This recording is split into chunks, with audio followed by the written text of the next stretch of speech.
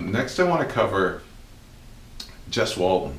And Jess Walton is one of the most amazing actresses I've seen. I, I mean, she's had some gripping storylines as well. Everyone I've talked about today um, on this and the previous segment have had amazing storylines, and Jess Walton has had some blockbusters.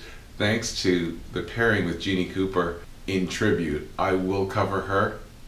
She's greatly missed, but she deserves her own segment. She really does, and uh, and I'll cover that at a later date.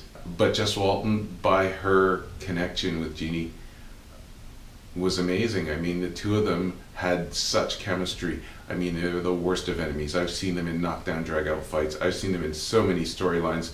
I mean, it's dizzying. I can't keep up with them all. From her hiring a homeless person to seduce Katherine to get back at her, to the time she found out that Katherine was her mother, to the time she found out that Katherine wasn't her mother, to, to her relationship with Esther and their battles over the years Jess Walton, she has taken on a lion's share of the workload for one character uh, being paired up with, back in the day, with John Abbott, married to John, having an affair with Jack. I mean, the list is endless. If I were to get into the storylines that she was in the middle of, including the one she's in now, all I could say, your mind would be blown. She's an amazing actress and she's a huge part of the Young and Restless. And I also want your feedback. I love the fact that I'm getting messages and I'm trying to get back to them as soon as possible.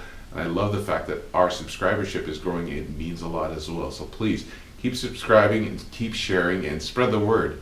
Uh, this is a lot of fun. Have a great day.